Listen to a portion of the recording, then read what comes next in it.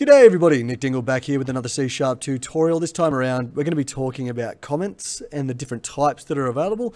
Specifically, comments are really when you want to put a message in your code or you want to deactivate some lines of code to see how it works without them, or even try and describe what some of your code is trying to perform.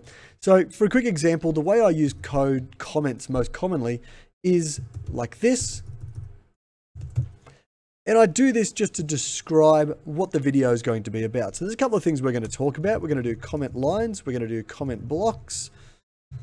We're going to do comment web reports.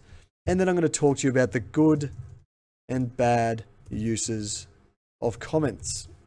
Okay, just to get some good practice in there. Now, as you can probably guess already, I'm just going to put some more things here.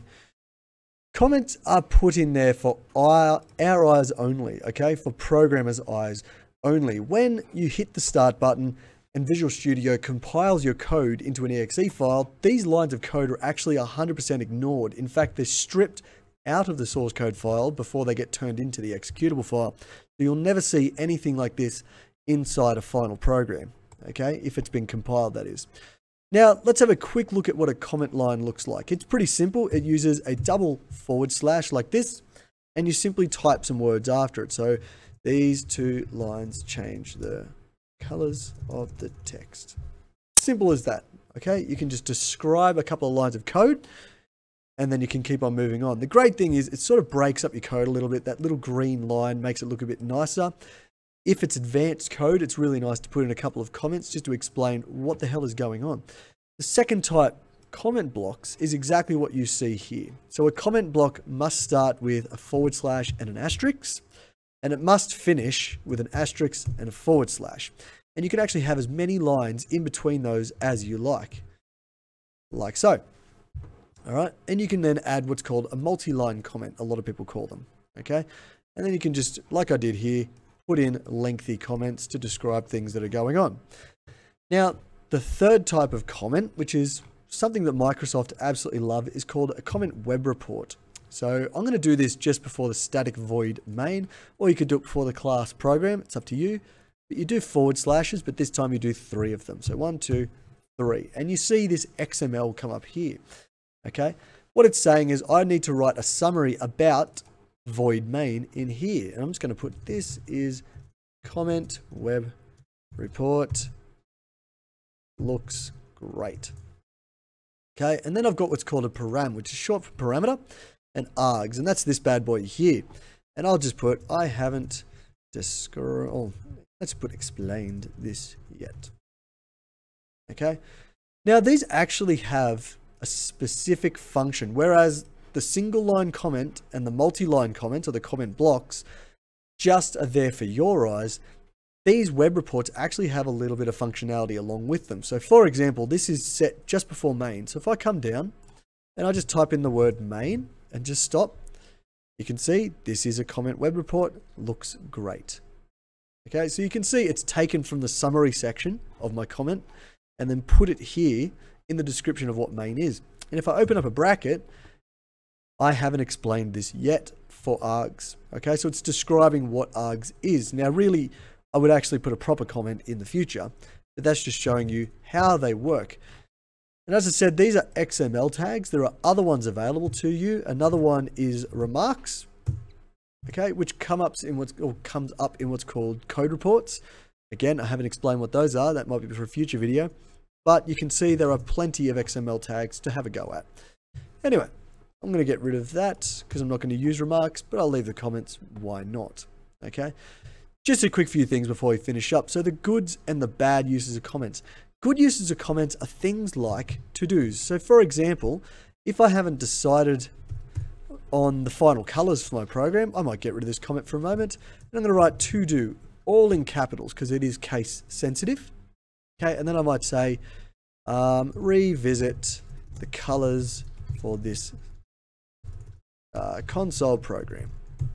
Okay, and it's a pretty much a standard around the world these days that you use to-do comments to describe things that you haven't quite finished just yet.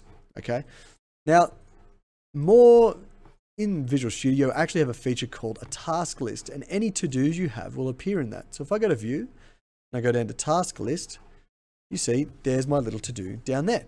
And this will appear if you've got multiple source files, they're all going to appear down here unless you change this drop-down box, of course. Now the great thing about these guys is not only can you see it and you can see what you have to do, but you can double click on them and it's like a hyperlink. It takes you straight to that line and lets you continue with your to-dos. A couple of other ones is maybe, for example, there's another one that's built in called a hack. Change this code. It's bad.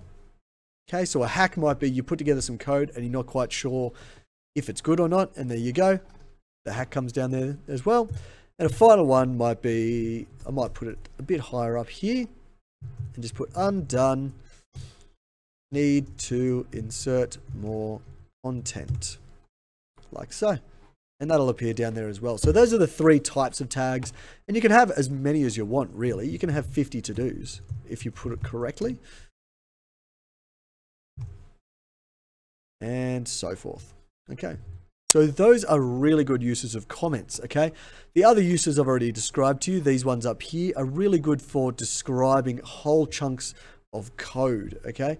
Especially multi-lines. It's really good to use them to describe really complex uh, functionality of code. Generally use them for a couple of lines at a time, okay? But that's the goods, is using these kind of to-do tags, the undones and the hacks, and then describing the functionality of complex code. The bad usages of comments is commenting. And whoop, forgot that one there. Every line. It looks bad, it gets cluttered, and it's just useless, okay? Don't bother commenting every single line of code. And on, on this sort of token as well, is describing really obvious functionality of code as well.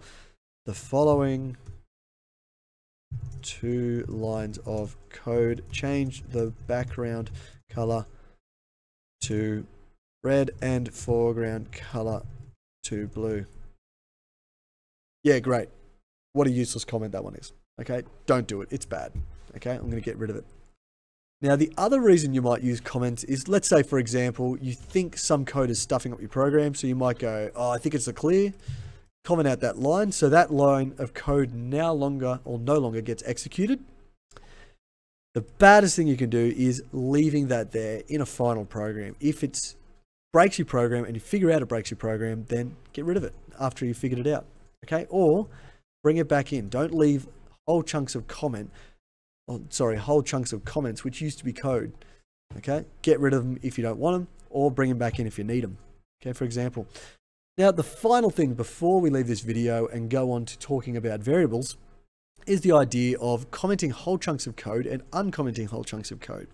For example, what if all these lines of code are causing problems and I want to comment them out just to um, test it out? You can use this button up here, which is comment out the selected lines. So click on that. All four lines get commented out. I can test my code. Let's say, oh no, I need those lines of code. You can highlight it again and hit the next button, which is uncomment the selected lines. And they're back in.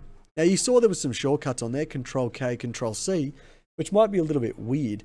But the way that works is you hold the control button, then I press K and then I press C on the keyboard.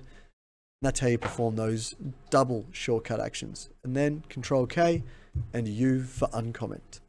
And that's pretty much it when it comes to comments, people. So just make sure you pay attention to the good use and the bad use of comments. I'm going to use them pretty consistently throughout my videos, especially when I start introducing the videos like I did with this multi-line. But otherwise, thanks very much for watching. Check out the like, subscribe, and comment sections down the bottom. I'd love to hear from you. But otherwise, I'll see you in the next video where we're going to talk about some variables.